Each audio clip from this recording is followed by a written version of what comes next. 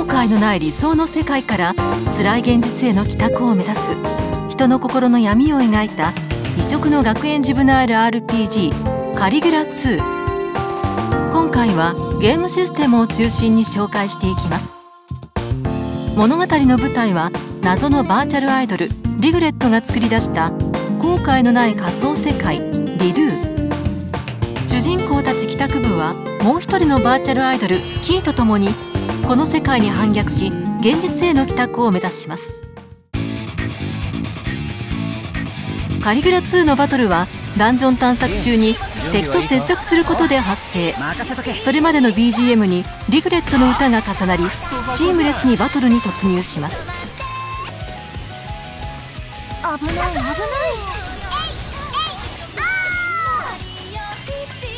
手加減はなしださあ行くよ。バトルは基本的なコマンド RPG をもとにカリグラ2の特徴として行動を選択した後その行動が成功した未来を見ることができます。このシステムでは敵味方の行動を確認しそれに合わせた多種多様な行動を選択することができるのでプレイヤーが戦場を支配することができます。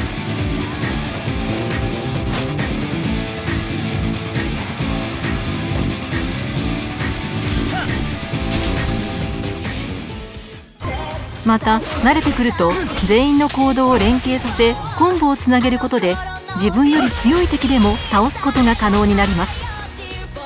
100を超えるさまざまなコマンドが用意されておりプレイヤーのイマジネーション次第で華麗なバトルを展開することができます。また本作にはオートモードが搭載されており仲間たちにそれぞれ自動で行動させることもできるため RPG 初心者の方も安心のバトルが楽しめます。バトルに参加できるのは主人公のほか3人まで。帰宅部の仲間たちはそれぞれに特徴があります。例えば能登議員は臨床性のステータスが成長しやすくバトルではクロスボウを使った射撃攻撃をメインとし矢にさまざまな特殊効果をつけて攻撃することができます。矢による攻撃は空中にいる相手に効果が高いため敵を空中に浮かせる技を持つ主人公とのコンビネーションは序盤の必殺コンボです。アミキササラは精神力のステータスが成長しやすくバトルでは仲間を守る盾役となります。味方への攻撃を肩代わりする特殊スキルを持つ上に回復やステータス異常を解除するスキルを覚えるためパーティーにいると安定感が増します。それぞれのステータスはスティグマと呼ばれる装備アイテムによって強化を行うことができます。スティグマは3種類あり中にはステータスをアップさせるパッシブスキルがつく特別なものも。スティグマに付与されたパッシブスキルはバトルで定着度を上げることで最終的には単体で装備することが可能。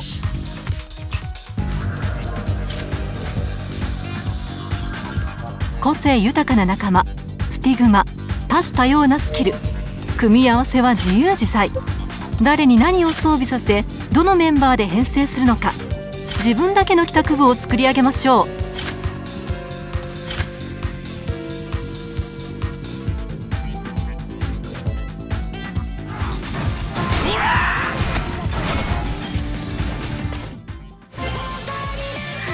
バトル中にボルテージがたまるとキーによるフロアジャックが可能に。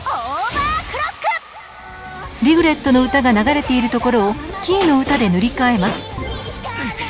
フロアジャックをすることで全員のステータスが上昇し即座に帰宅部にターンが回ってくるので一気に戦況を変えることができます。一等両断安心しろ。またキーポイントと呼ばれるゲーム内のポイントを集めキー自身の能力をアップさせることでフロアジャック効果が上昇帰宅部の頼もしい力となってくれるはずです。帰宅部の仲間以外にリドゥの住民たちとの交流も可能。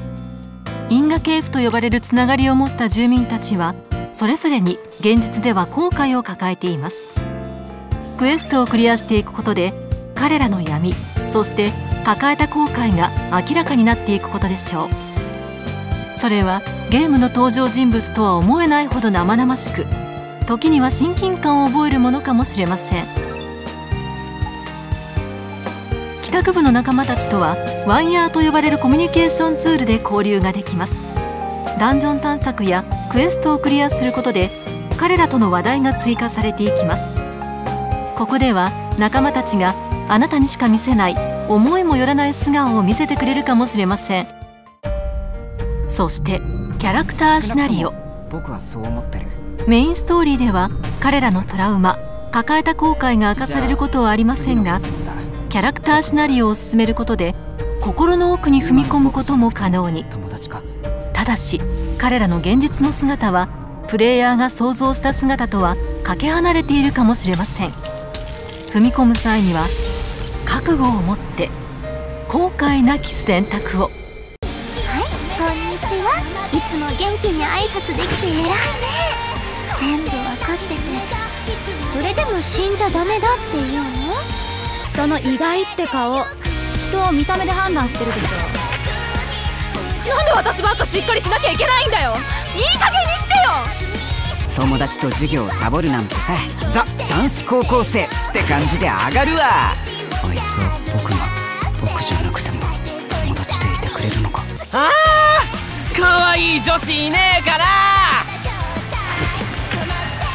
だからなんだよ。本当が奪われたんだ。嘘でも俺には大事なんだよ。お前らさリグレットと戦って勝つ気がある。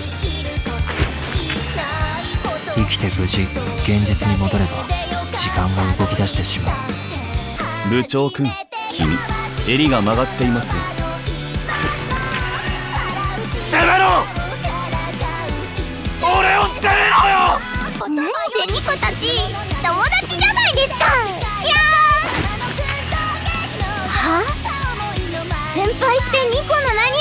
んですか？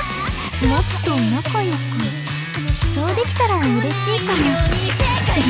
私の個人的な感情で帰宅を止めるのは間違っています。どちらにしても帰るしかないんですから。豪華スタッフ陣が送る現代でしか描けない異色の学園ジブナイル RPG カリギュラ2 2021年6月24日発売予定。豪華特典付き予約受付中。